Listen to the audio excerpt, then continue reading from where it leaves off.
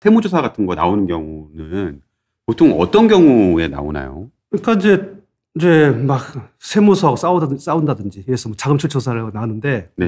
막뭐왜 그래 막 하면 막 하잖아요 막 그렇게 막 왜 아. 나를 조사하느냐 뭐 하느냐 귀찮게 하느냐 막 한번 해보세요 제가 담당은 아니면 내가 조사하겠어요 진짜 어. 음. 그런 건 여담이고요 네.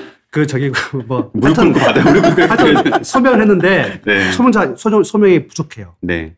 뭐가 문제 있어 음. 그래서 아버지가 10월 왔다가 건네주셨는데 음. 보니까 아버지가 사업장 가지고 주셨어요 음. 이런 것들은 조사를 전환하죠 음. 아. 세무 조사 전환한다고 해서 세무 통지서 보내고 조사하겠다. 네. 그렇죠? 기간이 있어요. 두 달, 세 음. 달. 저도 요즘 세무 조사 받고 있는 게 있는데 다른 것 때문에 받고 있는 게 있는데 제가 한 게 아니고 우리 고객이 음, 거기서 실적을 필요해 실적을 얼마만큼 또 뭐 아무것도 없는 사람 없거든 사실은 문제가 음. 없는 사람들이 이게 보면은 보는 각도에 따라서 이게 문제될 게 되게 많아요. 음. 어. 그렇죠. 그래서 세무조사 당하시면은 저 상당히 살이 쭉쭉 빠거든요. 음. 그런 거 안 하시려면 그냥 조금 전에 잘 하실 필요 있겠죠. 깔끔하게. 음, 깔끔하게 예. 음. 아, 너무 묘수를 보지 말고요. 아, 그러면 아까 말한 자금 추처 조사로 신고하거나 이렇게 할 때도 사실은 그 자료나 이런 부분들을 되게 충실히 제공하지 않으면 그렇죠. 가끔 그거에 대해서 또 보완 바로 세무서 들어간 거 아니고 보완 포함하죠. 요- 처음에 보완 요청했는데 네, 하죠. 그게 이제 안 될 경우에 이제 세무서 아, 그런 건 이제. 이상하다. 네. 말도 안 된다. 아. 그리고 가, 가짜란다. 음. 막 그렇게 막 꾸민 사람이 있거든요. 그래서 음. 갑자기 차용줄 갖다가 쓴다든지. 음. 보세요. 이제 차용줄 갖다 안 쓰잖아요, 보통. 음. 네, 보통 요즘 안 쓰긴 쓰죠. 쓰지만. 네. 걸렸어. 그래서 5억을 갖다 아버지 빌렸다. 도닥다 찍어. 음. 갖다 줘. 음. 어떻습니까? 그게 인정될까 안 될까요? 인정 그거 뭐 이렇게 인정 안 되나요? 그게 썼으면? 처음 써야겠죠, 일반적으로. 처음에. 네, 네. 이건, 이건 최근에 쓴 거니까. 이건 문서 감정이 딱 내면은 아. 내, 딱 하면은 이거 그냥 뽀록 나요. 아, 아, 문서 감정도 하나요? 아, 그래 할 수 있죠 이게 아. 필체 감정 해가지고 이게. 있었는데 잉크가 안 까먹고 있었다가 이제 준다 이거 그렇죠 잉크가 안 아닌데요? 발랐어. 아, 잉크가 그, 그 잉크 안 발랐다니까 진짜 진짜군요. 그렇죠, 그렇죠. 이런 것도 금액 크면 그렇게 할 수 있는 거죠. 조사는요 객관적으로 해야 할 거 아니에요. 그, 그 저기 공정하게. 그럼 네. 다 그런 걸 다 동원하는 거죠. 음. 우리가 이제 하네요. 우리가 거주 와. 요건 입양하시면 계세요. 이장은 전입하신 분 계시거든요. 네네네. 그거 뭐 찾아가세요? 잠깐 빼놓고 네, 이렇게 하는 경우도 있잖아요. 아니 그거 말고 이제 저기 예를 들어서 그, 뭐 거주 요건 채우려고 아, 그 뭐 우리 비과세 요건이 네, 맞아요, 아. 맞아요. 예, 예. 그런 분 은근히 계- 계세요. 아, 그러니까 아, 실제로 살진 아, 않는데 살면서 전입만 해놓은 전입만. 예. 그다음 세대. 세대 또 분리 같은 거. 네, 네. 음. 여기 계신 분들도 지금 보면은 나는 우리 아버지 사는데 같이 어머니 부모님 같이 사는데 다른 데 주소가 되는 계세요. 네. 세대 분리하려고 음. 이것도 보면은 동선 같은 거 해놨 수 있잖아요. 카드 내역, 음. 교통카드 그 내역 이거 딱 하면 그냥 나오죠. 국세청의 정보가 상당히 발달돼 있어요. 음. 그런 부분이 있으면 사실은 이렇게 조금 이제 한다 하더라도 실질적으로 국세청에서 되게 많은 데이터를 보는군요. 그렇죠. 네, 음. 예, 우리나라 국세청이 뭐 제가 봤을 때는 뭐 미국하고 그냥 거의 어. 안 먹을 정도. 그래서 저는 상당히 존경심을 존경심을 갖고 있습니다. 수사력이 엄청 뛰어나군요. 아 근데 아까 사실 말씀하신 것 중에 사실 부모님 입장에서 자식들 결혼할 때 보통 전세금이나 음. 뭐 이런 것들 지원을 많이 해주잖아요. 음. 예. 그런 것도 사실은 만약에 뭐 여러 가지 안에서 아까 이렇게 뭐 세- 세무조사나 이런 거 타겟이 될 수 있는 건가요? 어, 전세 보전금에 대해서 직접적 조사는 한 두 번 정도 있었을 거예요. 10억짜리 음. 넘어가신 분들. 아, 10억 넘어가는 좀 경우만. 고가인 경우. 이게 참 이게 이게 참 좀 문제인 게 있는데 왜냐면은 지금 집을 사실 때 보면은 전세 보증 끼고 들어온단 말이에요. 네. 그렇죠. 그 사실 이게 징여거든요. 아, 시계잖아요. 아, 아버지가 저- 아, 그래서- 그렇죠. 자녀한테 그렇죠. 아버지가 3억짜리 전세를 들어줬어요. 이거 네. 징여거든요, 원래. 징여세는 원래 본인 신고하셔야 돼요. 3개월 안에. 음. 음. 안 하잖아요. 왜요? 조사를 안 하기 때문에. 음. 음. 그렇지만 이 돈을 쓰- 자금 삼아서 그 종잣돈 삼아서 집 살 때 들어온단 말이에요. 그럼 우리가 이제 자금 출처 조 계획서를 제출하잖아요. 네. 나는 자금 전세 보증금 3억 가지고 여기서 조달했어요. 쓸 거란 말이죠. 네. 음. 일반적으로 보면 옛날에는 지금까지는 보통 보면은 그 넘어가는 경우가 많아요. 음. 그렇지만 이제 국세청에서 칼을 딱 빼들게 되면은 이 전세 보증 어떻게 충당했어요? 음. 하는 순간 여기서 나오는 거죠. 음. 그래서 보- 이제 여기서 이제 이게 중요한 거예요. 전세 보증금에도 과세가 될 수 있을 건가, 것인가. 자, 아까 국세 부가 제척기간 말씀드렸죠? 우리 징여세 몇년 기준이라고요, 이게? 15년. 15년. 15년. 아, 지금 15년까지 갈 수 있어요. 음. 그렇죠. 그러면은 전세 보증금 언제 징여해야 돼요? 15년 전에. 음. 그때. 그걸 샀어. 그건 문제 없죠. 국세부가 아. 어, 걸지 않기 때문에. 음. 그래서 이 문제는 원칙적 따지게 되면 참- 전부 다 걸릴 선택이 많아요. 어, 그럴 것 같은데. 이 음. 방송 들으신 분들이 다 어이구야. 15년 지금 쓰고 있는 또- 거 아니야? 근데 이게 네. 무슨 막 또 우리가 또 그래서 또 인지산정이라고 음. 우리 사회 또 그럴 수도 있는 부분이 있어- 약간 있을 수가 있잖아요. 그쵸. 그러니까 약간 과세망이 느슨해요. 음. 그 제가 지금까지 뭐 세무 업무를 거의 20년 하고 있는데 음. 전세 보증금 때문에 과세 당했다 하는 사람이 거의 못 봤어요. 음. 어. 아까 10억 넘은 경우. 10억 넘어서 이제 예전으로 이제 음. 좀 약간 부자분들 음. 대상으로 약간 보여주려고 하는 부분이고 나머지 그 밑에 있는 분들은 조사해가지고 이거 문제 삼은 경우는 거의 없었고요. 그다음에 자금 추수서 할 때도 이것도 전세 보증 어떻게 생겼어요? 이렇게 하는 것들은 뭐 30세 넘어가신 분들은 그렇게 문제를 삼은 경우는 많이 많이 보지는 못했어요. 하지만 음. 20세 이하이고 뭐 미성년자 같은 경우는 그렇지 않죠. 그- 그러면은 아까 사실 전세 보증금을 지원해 주는 부모님께서 해주신 경우는 음. 괜찮은데 음.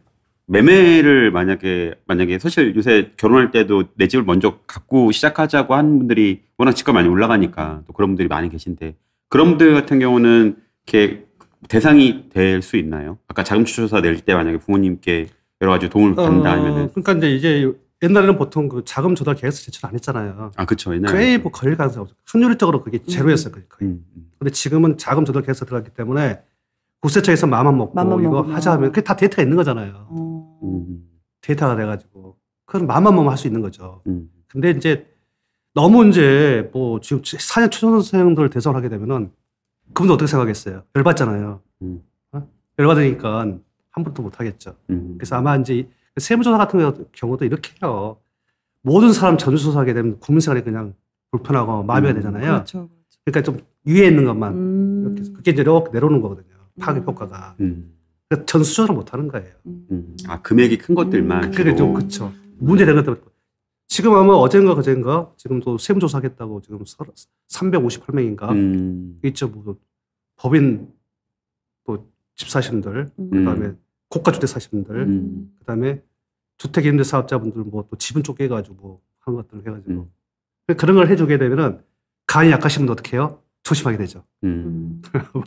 음. 그런 효과가 있는 거죠. 음. 그래도 밑바닥 못 해요 여기서 이렇게 이게 뭐 지금 있는 분들 그렇죠. 음. 그래서 한계도 있고. 이해를 해주시죠 많이. 음. 음. 또 요즘 같은 경우는 세금 문제나 청약처럼 그 개인적인 사유로 인해서 가족 명의로 집을 매수해도 되나 이런 고민하시는 분들이 상당히 많은데 음, 네. 만약에 부모님 명의로 집을 산다면 어떤 점을 좀 주의해야 될까요? 이게 기본적으로 이제 일단 어머니가 주체가 돼가지고 음. 어머니가 집 산다 그런 관점에서 이제 보셔야 돼 요. 왜냐면은 내 건데 어머니한테 사 주게 사- 어머니한테 이렇게 사는 걸로 하게 되면은 부동산 실명법 위반입니다. 아. 이법 위반이죠. 네, 위반. 그거 하면은 가신금이 이제 서로 각자 어머니하고 저하고 30%씩 나와요. 어, 30%요? 음. 30%는 한 기준은 매매가인가요? 예, 제가 예, 매매 가격을 알고 있는데 기준 시가가 아, 예. 음. 아, 그러면은 그, 그 기준 시가의 30%씩 나오는 거예요. 그렇죠, 둘 다. 60%예요? 그렇죠. 와. 그 징역형도 가능해요. 어. 징역이요? 예, 감옥 가요? 예. 갈 수 있어요. 음. 아. 근데 간 사람이 한 번도 없는 것 같더라고요. 왜 그, 아, 그 정성을 알아야 되니까. 그거 뭐냐면은 아, 간 사람 갈수 없군요, 있다, 아직. 갈 수- 이거 수도 세법 있다. 아닌데 이게 네. 규정이 사문화됐어요. 아. 그래서 간 사람이 없어. 아. 그리고 걸린 사람도 별로 없어.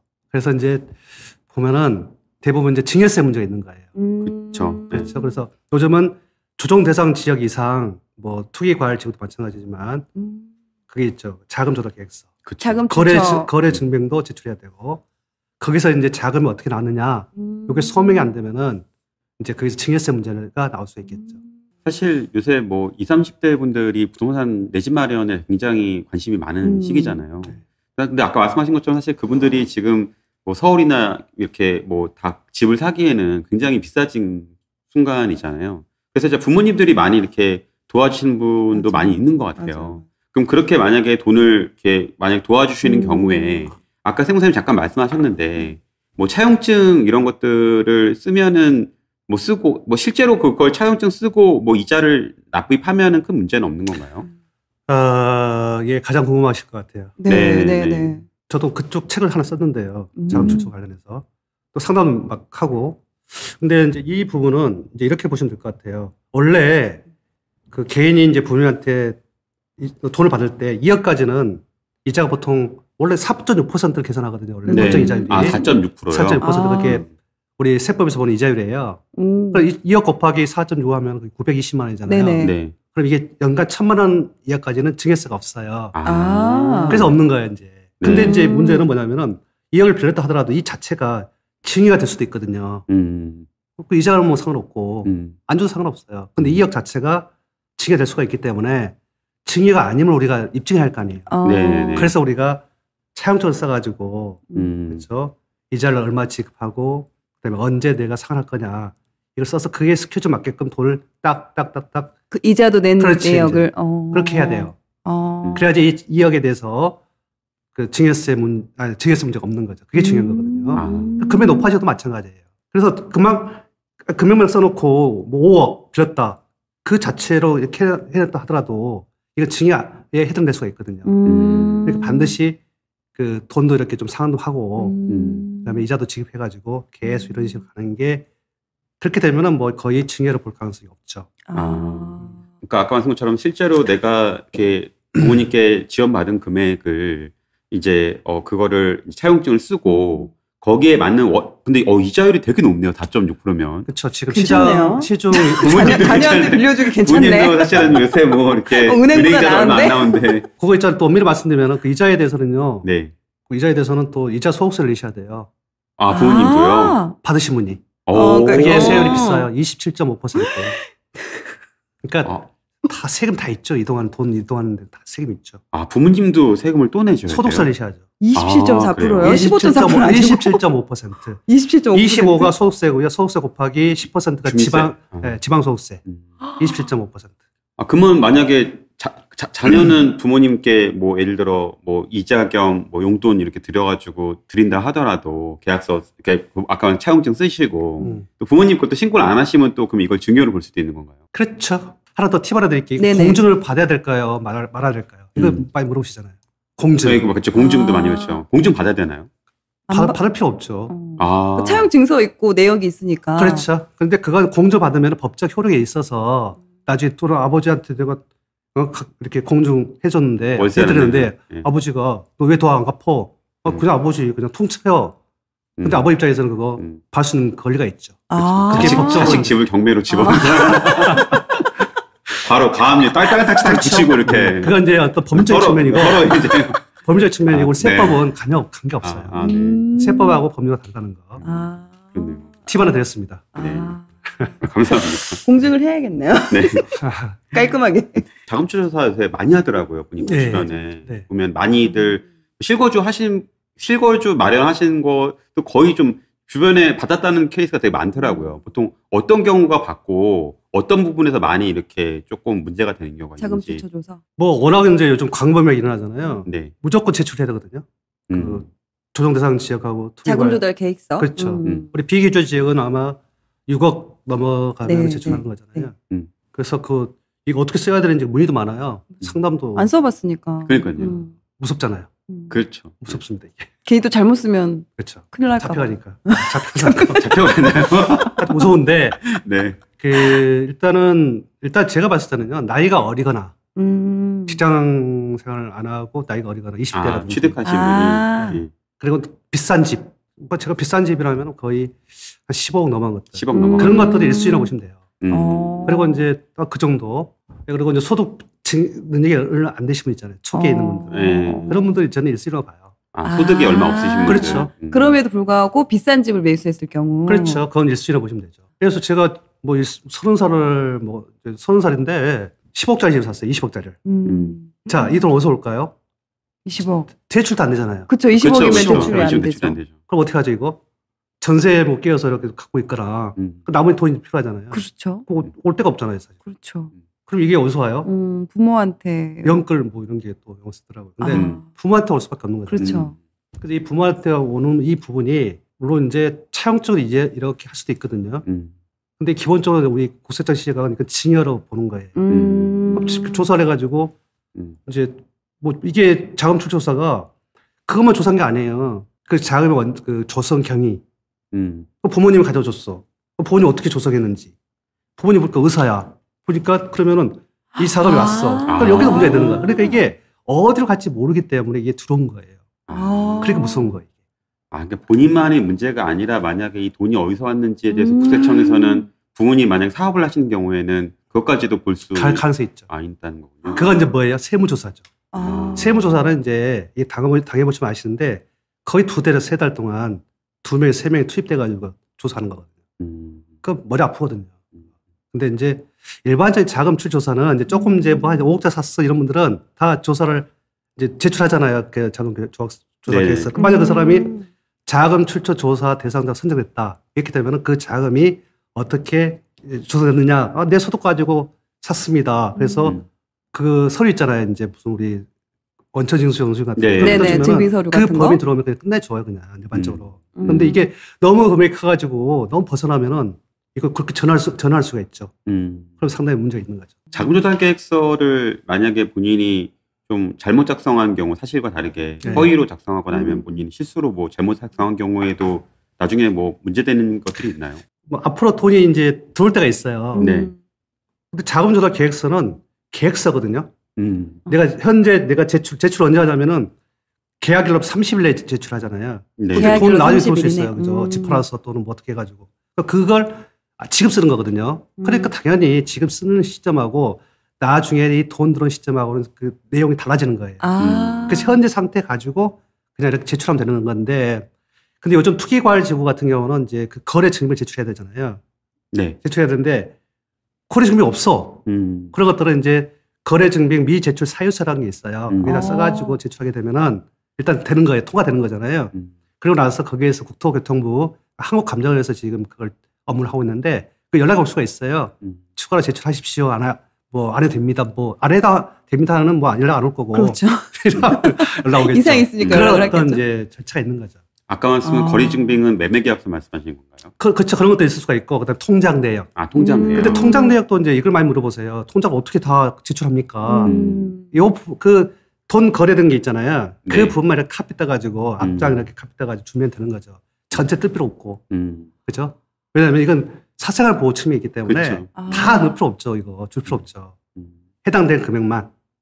음. 그렇죠. 내가 돈을 모아서 월급을 차곡차곡 모아서 샀다 하면은 그 통장에 어느 정도 그 가, 금액이 찍혀 있는 거를 그때 보내야 되는 건가요? 그 돈이 일단 뭐 계약금 나가잖아요. 뭐 2천만 원. 음. 그러면은 그난 나간 흔적이 있죠. 음. 그 부분만은 일단 보여주면 되죠. 아. 음. 다줄 필요 없고. 아. 그게 모여서 이렇게 된 거잖아요. 오. 그다음 세금에도 소멸시효가 있다고 들었는데 세금의 소멸시효는 어느 정도 되나요? 그, 세금의 항목마다 좀 다를 그수 원래 있겠죠? 이제 소멸시효라는 것은 이제 어떤 세금 확정된 확정된 뒤에 음. 납부를 안 한 경우 보통 5년간 이렇게 납부 안 하면 그게 없어지는 거 제도거든요. 이제 아마 이걸 물어보신 것 같아요. 아니 이제 세금 내가 잘못 신고 아니 신고 안 했어. 음, 음. 그죠? 모르잖아요. 왜? 그 상을 다 파악 못 하니까. 근데 국세청이 그걸 알았어요. 음. 음. 화살간이에요. 음. 근데 이 기간이 너무 오래전 일이야. 음. 그, 그럴 수도 있죠. 음. 음. 그런 거. 그게 이제 소멸시효 이제 그런 개념이 아닌데 제척 기간이라고 해요. 국세부가 제척 기간. 음. 그 공소시효 같은 개념. 어. 음. 요 안에는 이제 가사 쓸거 못 하고. 근데 우리 이제 세법을 일반적으로 보면은 그 5년에서 15년 정도 기간을 갖고 있거든요. 아. 상속세 같은 경우에는 15년까지 가요. 오. 왜? 그건 은닉하기 좋거든요. 음. 그러니까 지금 시점에서 15년 전에 발생한 것들은 과세를 보통 못 해요. 어. 근데 양도세 같은 경우는 신고를 안 하면 7년. 아. 그러니까 7년 전에 발생했던 것들이 지금 와서 들통났다. 이거 과세할 수 없는 거죠. 아, 음. 7년 전 거네. 예. 그래서 이제 어떤 경우는 뭐 어? 옛날에 막 타세 같은 게 있을 수가 있잖아요. 음. 빨리빨리 시간이 지나가라. 음. 왜? 그 그날 달, 그 달력 옛날에- 체크하고 있겠는데요. 아, 6년 그렇죠. 11개월. 옛날에 그뭐 땅계약서 뭐 쓴 경우도 있었잖아요. 아. 네. 그런 것도 뭐 쓰면은 요즘 그게 별로 없는데 그것도 지금 그 타세에 해당돼 가지고 그렇죠. 10년짜리 맞아요. 10년짜리 요즘 10년짜리. 특히나. 10년짜리 10년짜리. 음. 그래서 지금 2021년도니까 2011년도 전에 다운결 써가지고 세금을 엄청 빼먹었어. 음. 지금 걸렸어. 수가 없는 거죠. 아, 10년이에요, 그거는. 그 면책 기간. 오. 탈세 10년. 그, 오. 그, 그러면은 마- 만약에 세무서에서 9년 정도 됐을 때 우연찮게 자료를 발견해서 음. 만약 청구하게 되면 그러면은 미신고 가- 미신고 어마어마. 금액에 대해서도 또내 불과하고 20%. 그때는 가산세가 예. 40%. 아. 부당, 부당 가산세. 왜 왜 40%? 부정행위 가산세. 아 부정행위. 아 이건 이거 다운이가 그 부정행위가 네, 있네요. 40%. 미, 지연 납부도 그렇죠. 아. 있고. 그래서 이제 다 바쳐야죠. 근데 내가 돈이 없어. 집은 하나 있어. 네. 집 팔아야죠. 아, 그래서 안 내면 어떻게 돼요? 압류 들어오죠. 압류되고. 그렇죠. 그 세금 무서운 거죠. 맞아요. 세, 그 카드 값이나 이런 경우는 좀 깎아주기도 하고, 이자 같은 거는 깎아주기도 주기도 한다고 아니, 그- 하는데 아니, 세금은 절대 그 그런 게 세금은 없더라고요. 그런 게 그래서 아예 없다고 하더라고요. 아무것도 없다 하면은 이제 결정됐잖아요 세금이. 음. 근데 못 내겠어. 음. 그럼 어떻게 해요? 5년간 딱 따져봐요. 음. 그래서 없잖아요 재산이. 그러면 그걸 면책을 해줘요. 근데 이제 그거 5년 꼭 지나서 지난다고 해서 무조건, 해- 무조건 해준 게 아니고 중간에 또 그걸 또 무슨 세무서에서 뭐, 연- 뭐 연락을 해가지고 그 기간을 연장을 해. 음. 어. 그러니까 실제 이제 체납을 하게 되면은 시종 생활을 못 하는 거예요. 어. 주위에 그런 사람이 있을 거예요 아마 그렇죠. 아, 시- 그 은행 거래나 이런 것들이 못하죠. 힘들, 힘들군요. 음. 그렇죠. 외국도 못 나가. 아, 외국도 못 나가고요. 그렇죠. 아, 아, 외국도 못 나가요? 네, 그렇죠. 음. 세금 내고 가라. 아 그러면 세금 안, 안 내, 올까봐? 아, 그렇죠. 세금 안 내면은 출입국도 와. 네. 막아버리는군요. 그렇죠. 다 오. 맞죠.